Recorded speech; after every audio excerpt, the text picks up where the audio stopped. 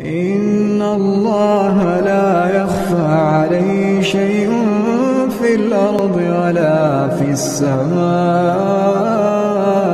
السماء هو الذي يصوركم في الأرحام كيف يشاء அல்லாஹ் வந்து திருமறை குரான்ல கூறுறான் வா இன் தஅத்தூன வனிசாஅவ் சஃபத்தைன் உங்களுக்கு இரு நாவுகளையும் இரு உதடுகளையும் கண்களையும் நான் தரவில்லையா என்று கூறுகின்றான். எவ்வளவு ஒரு அழகாக அல்லாஹ் திருமறையில் கூறுகின்றான். அப்ப இந்த நாவுனால நம்ம அதிக அதிகமாக என்ன செய்யப்படுகின்றோம்? நன்மை செய்யறோமா தீமை செய்யறோமா அந்த நன்மை மூலியமாக நமக்கு சொர்க்கம் கிடைக்குதா நன்- நரகம் கிடைக்கியதா இந்த நாவு மூலியமாக ஏற்படுதுங்கிறத நம்ம பார்க்கணும். இப்ப இந்த நாவுனால நம்ம என்னென்ன பல தவறுகள் செய்து இருக்கின்றோம் அப்படின்னு பார்த்தா இந்த நாவுனால நம்ம நிறைய தவறுகள் செய்துட்டு இருக்கோம். அதுக்கு ஒரு பட்டியலே போடலாம். ஃபர்ஸ்ட் என்ன அப்படின்னு பார்த்தா புறம் பேசுறது. புறம் பேசுறது அப்படிங்கிறது இந்த முஸ்லிம் மக்களிடத்துல வந்து குறிப்பாக இந்த பெண்களிடத்துல அதிகமாக நிலவி கொண்டுட்டு இருக்கு. புறம் அப்படிங்கிறது இந்த பெண்கள் இடத்துல சர்வ சாதாரணமாக பேசிக்கொண்டிருக்கிறது இருக்கிறது அதாவது இப்ப அவங்க வீட்டுல சீரியல் பார்த்துட்டு இருக்காங்க. சீரியல் பார்த்துட்டே இருக்கும் போது பவர் கட் ஆயிடுது. ரெண்டு மணி நேரம் பவர் கட்டு அப்ப இவங்க என்ன பண்ணுவாங்க? ஏந்திரிச்சு வாசல்ல போய் உட்காந்து யாரையாவது பத்தி புறம் பேசிக்கிட்டே இருப்பாங்க. கரண்ட் வந்துருச்சா? அஸ்தோபர்ல நம்ம என்ன புறமா பேசணும்? நம்ம இது செய்யவே இல்லையே. இந்த பாவத்தை நம்ம ஏன் செய்ய போறோம் அப்படின்னு சொல்லி பேசக்கூடிய மக்களா இருக்காங்க. எல்லாத்தையும் பேசிடுவாங்க. லாஸ்ட்ல நம்ம பேச மாட்டோமே அப்படிங்கிற ஒரு வார்த்தையை அவங்க சொல்றாங்க. நபிசா அவர்கள் வந்து மக்களை பார்த்து கேக்குறாங்க. புறம் பேசுதல் என்றால் என்ன உங்களுக்கு தெரியுமா அப்படின்னு கேக்குறாங்க. அதுக்கு மக்கள் சொல்றாங்க அல்லாஹும் அல்லாஹுடைய தூதரும் தான் நன்கு அறிந்தவங்க. உங்களை தவிர எங்களுக்கு தெரியாது அப்படின்னு சொல்றாங்க. அதுக்கு வந்து நபிசா அலிஸ்லாம் அவர்கள் சொல்றாங்க தம்முடைய சகோதரன் விரும்பாத ஒன்றை பேசுவதே புறம் அப்படின்னு சொல்றாங்க. அப்ப மக்கள் கேட்கிறாங்க திரும்பி நபிசா அலிஸ்லாம் அவர்கிட்ட தம் சகோதரன் இல் த- தன் சகோதரிடத்தில் இருக்கிறத பேசுறது புறமா அப்படின்னு சொல்லி மக்கள் வந்து ச- நபிசா அலிஸ்லாம் அவர்களை பார்த்து கேட்கிறாங்க அதுக்கு நபிசா அலிஸ்லாம் அவர்கள் சொல்றாங்க நீ உன்னுடைய சகோதரன் இருக்கிறத பேசுறதுதான் புறம். அவங்கிட்ட இல்லாதத நீ பேசுனா அது அவதூறு. அது இன்னும் பெரிய பாவம் அப்படின்னு சொல்றாங்க. அப்ப நம்ம இஸ்லாமிய பெண்கள் அது குறிப்பாக பெண்கள் அதிகமா புறம் பேசுவதில் இருந்து தவிர்க்கக்கூடியவர்களாக இருந்துட்டு இருக்கணும்.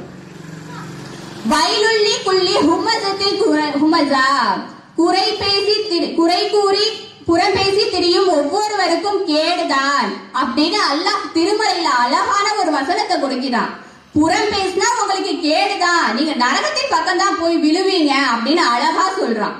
அப்ப புற பேசுறத வந்து நம்ம தவிர்க்கக்கூடியவர்களாக இருந்துட்டு இருக்கணும். அவதூறு. அவதூறு அப்படிங்கிறது இந்த புற பேசுவதை விட மோசமான ஒரு செயல். புறங்கிறது அவங்கள்ட்ட இருக்கிற ஒன்னா பேசுறாங்க. இந்த அவதூறுங்கிறது அவங்கள்ட்ட அந்த குறை இருக்கவே இருக்காது. அவங்க ஆளே இருக்க மாட்டாங்க. அவங்கள பத்தி பேசி தெரிகிறது யார் வந்து ஒரு முகமீனிடம் இல்லாத ஒன்றை பேசுறானோ அவரை அல்லாஹ் சீலும் சலத்திலும் தங்க வைப்பான் அப்படின்னு அல்லாஹ் கூறுகின்றான். அப்ப அந்த அவதூறுங்கிறது எவ்வளவு பெரிய கொடுமையான செயல் அப்படிங்கறத நம்ம சிந்தித்து பார்க்கக்கூடியவர்களாக இருக்கணும். அடுத்தது புகழக்கூடாது. எல்லாம் வல்ல ஏக இறைவன் ஒருவனை தவிர மற்றவர்களை புகழவே கூடாது. ஆனா இந்த காலத்தில் உள்ள மக்கள் எப்படி இருந்துட்டு இருக்காங்க? ஒரு எழுத்தாளரை கண்டா போதும். உன்னை அடிச்சுட்டு இன்னொருத்தவன் பிறந்துதான் வரணும் அப்படின்னு சொல்லுவாங்க. இதுவே ஒரு பேச்சாளரை கண்டா உன் பேச்சுக்கு ஈடு இணைக்கு வேற யாருமே இல்ல அப்படின்னு அளவு கடந்து புகழ்வாங்க. அல்லாஹ் வந்து அவங்களுக்கு ஒரு வளத்தை வழங்கி இருக்கின்றான் ஆனா அந்த வளத்தை வச்சுக்கிட்டு உனக்கு தெரியுமா நீ எங்கே நான் எங்கே? உன்ன மாதிரி தான் வருமா? அப்படின்னு சொல்லி பேசக்கூடிய மக்களா இருந்துட்டு இருக்காங்க. நபிசாலேஸ்லம் அவர்கள் சொல்றாங்க மரியமின் மகன் ஈசா அளவு கலந்து புகழப்பட்டார். அவரை போன்று என்னையும் புகழாதீர்கள் அப்படின்னு சொல்லி நபிசாலேஸ்லம் அவர்கள் சொல்றாங்க. மாறாக என்னை அல்லாஹ்வின் அடிமை என்றும் அவனுடைய தூதர் என்றுமே சொல்லுங்கள் அப்படின்னு சொல்லி சொல்றாங்க. நபிஸ்லா இஸ்லாம் அவர்களே சொல்றாங்க என்னை நீங்க புகழ வேண்டாம் அப்படின்ட்டு. அப்பதான் நம்மரா எவ்வளவு தூரம் அப்படிங்கறத சித்தித்து பாருங்க. யாராவது ஒருத்தவங்க போனா ஒரு செயலை செஞ்சா போதும். அவங்கள அப்படியே பாராட்டி குளிச்சு தள்ளுறதுதான். அதுல இருந்து நம்ம தவிர்க்கக்கூடிய மக்களாகவும் இருந்துட்டு இருக்கணும். உண்மை பேசுவோம். இந்த நாவை கொண்டு நம்ம உண்மையை பேசணும். எப்படி பேசணும்? நம்ம வார்த்தை சொல்லக்கூடிய வார்த்தை உண்மைதானா அப்படிங்கறத முதல்ல அறியணும். அப்படி அறிஞ்சு உண்மையை பேசணும். உண்மை நன்மைக்கு வழிகாட்டும் நன்மை சொர்க்கத்திற்கு வழிகாட்டும் அப்படின்னு சொல்றாங்க. உண்மையை வந்து யார் தேர்ந்தெடுத்து பேசுறானோ அவர் சித்திகின் வாய்மையாளர் என்று அல்லாஹ் கூறுகின்றான். அப்ப நம்ம உண்மையை அதிக அதிகமாக இந்த நாவின் மூலியமா பேசக்கூடியவர்களாக இருக்கணும். அடுத்தது பொய் பேசுபவர்கள். இந்த காலத்துல உள்ள மக்கள் பொய் அதிகமா பேசுவாங்க. அவங்க நாக்குல வந்து ரெடிமேடா பொய்ய ரெடி பண்ணி வச்சிருப்பாங்க. எப்படி வச்சிருப்பாங்க? மனைவி வந்து கணவருக்கு போன் அடிப்பாரு. நீங்க எங்கெங்க வரீங்க அப்படின்பாரு உடனே கணவர் என்ன செய்வாரு? தோ வீட்டு வாசல் கிட்ட வந்துட்டு இருக்கேன் அப்படின்னு ரெடிமேடா ஒரு பொய் அவர் எங்கேயோ இருப்பாரு. ஆனா மனைவி கேட்டா அதோ வந்துட்டு இருக்கேன் அப்படின்னு சொல்லி ரெடிமேடா ஒரு பொய்ய ரெடி பண்ணி வச்சிட்டு இருப்பாரு. பொய் தீமைக்கு வழிகாட்டும் தீமை நரகத்திற்கு கொண்டு போய் சேர்ப்போம் அப்படின்னு சொல்லி சொல்றாங்க. அப்ப நம்ம உண்மையை தான் அதிகமா பேசணும். பொய்யில இருந்து நம்ம தவிர்க்கக்கூடிய மக்களாகவும் இருந்துட்டு இருக்கணும். இந்த நாவை வச்சு நம்ம இவ்வளவு தீய பழக்கங்களை செஞ்சுட்டு இருக்கோமா? இவ்வளவு தீய வார்த்தைகளை பேசிட்டு இருக்கோமா அப்படின்னு பார்த்தா இந்த நாவு மூலியமா நம்ம நன்மைகள் கூட செய்யலாம். எப்படி நன்மை செய்யலாம்? இந்த நாவு வந்து நம்மள சொர்க்கத்துக்கே அழைச்சிட்டு செல்லும். நபிஸ்லால இஸ்லாம் அவர்கள் சொல்றாங்க எவர் தம் இரு தாடைகளுக்கு இடையே உள்ள நாவையும் தம் இரு கால்களுக்கு இடையே உள்ள மர்மஸ்தானத்தையும் என்னிடம் உத்தரவாதம் அளிக்கின்றார்களோ அவர்களுக்கு நான் சொர்க்கத்தை உத்தரவாதம் அளிக்கின்றேன் அப்படின்னு சொல்லி சொல்றாங்க. அப்படியாப்பட்ட சகாபாக்கள்கிட்டே நபிஸ்லா அலைஹிஸ்ஸலாம் அவர்கள் என்ன சொல்றாங்க? நீங்க இது ரெண்டுத்துக்கும் உத்தரவாதம் கொடுங்க. அதுல முதல் முறையாக என்ன சொல்றாங்க? உன் இரு தாடை இடையே உள்ள நாவையும் அப்படின்னு சுட்டி காட்டி சொல்றாங்க.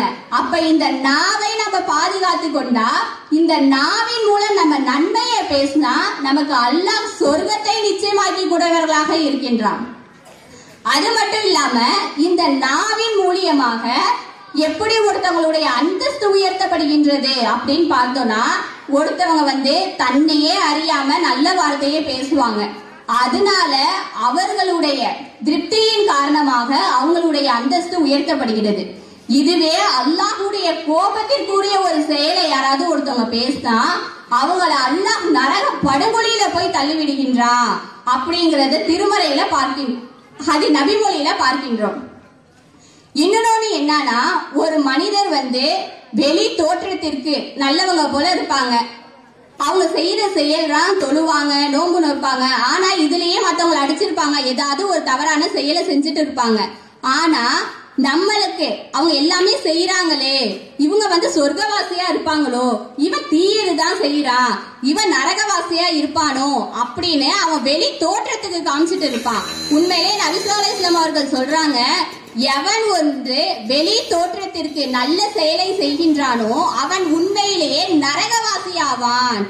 எவன் வெளி தோற்றத்திற்கு தீய செயலை செய்து ஏன்னா வெளி தோற்றத்தை தான் அப்படி பாக்குறான் அல்லாஹ் வந்து அவனுடைய உள்ளத்தை மட்டும் மட்டும்தானே பாக்குறான் அவனுடைய வெளி தோற்றத்தில் தீய செயலை செய்கின்றானோ அவன் உண்மையில் சொர்க்கவாசியாவான் அப்படின்னு சொல்றாங்க.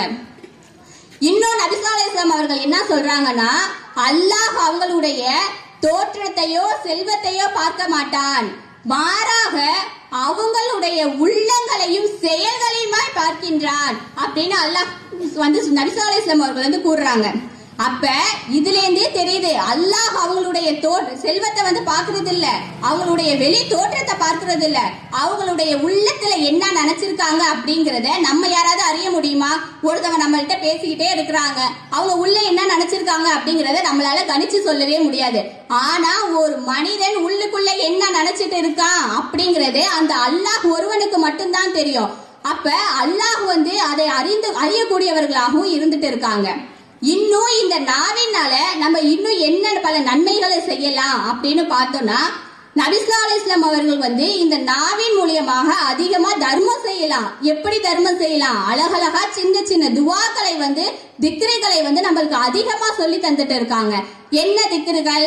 சுபஹானல்லாஹி அலீம் சுபஹானல்லாஹி வபிஹம்திஹி அப்படின்னு. இது வந்து தராசின் எடையை வந்து அதிகரிக்குமா?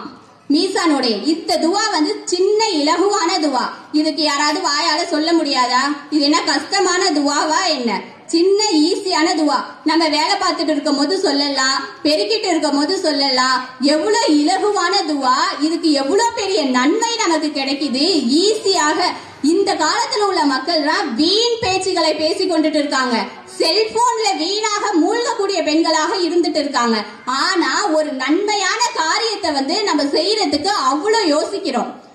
அது மட்டும் இல்லாம அ- சுபஹானல்லா அல்ஹம்துலில்லா அல்லாஹ் அக்பர் அப்படின்னு நம்ம சொன்னா ஒவ்வொரு வார்த்தைக்கும் தர்மம் செய்யக்கூடிய நன்மையை அல்லாஹ் வழங்கி இருக்கின்றான் இதுவும் நம்ம தொழுகை முடிஞ்சிட்டு அடிக்கடி ஓதுவோம். ஆனா தொழுகை முடிஞ்சதுக்கு அப்புறம் தான் ஓதணும் அப்படிங்கறதுலாம் கிடையாது. நமக்கு எப்ப வேணாலும் இந்த துவாவை ஓதலாம். இந்த துவாவை ஓதுறது தர்மம் செய்யக்கூடிய நன்மையாகவும் இருக்கு அப்படின்னு நபிசா அலிஸ்லாம் அவர்கள் சொல்றாங்க.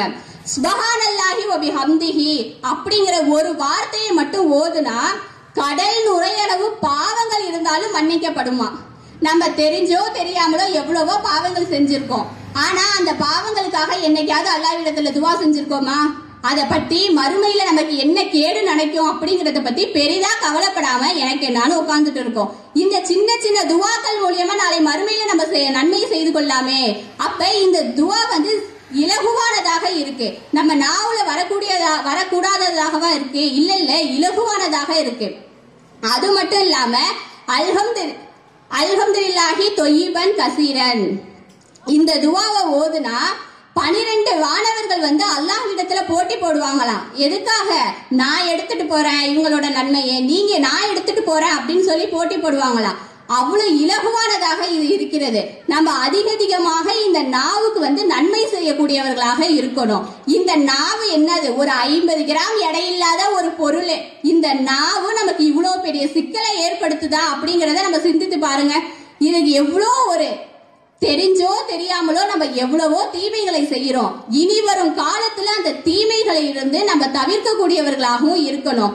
இன்ஷாலா இனி வரும் காலங்களில் இந்த நாவை நன்மையான வழிகளில் மட்டும் பயன்படுத்தி அந்த நன்மை மூலம் சொர்க்கத்தில் உயர்ந்த சொர்க்கமான ஜன்னோத்தில் பிரதோஸ் எனும் சொர்க்கத்தை அடையக்கூடிய அடைவதற்காக நம் அனைவர் எல்லோருக்காகவும் நான் பிரார்த்தனை செய்தவளா எனது உரையை முடித்துக் கொள்கின்றேன். அஸ்ஸலாமு அலைக்கும் வரஹ்மத்துல்லாஹி வபரகாத்துஹு.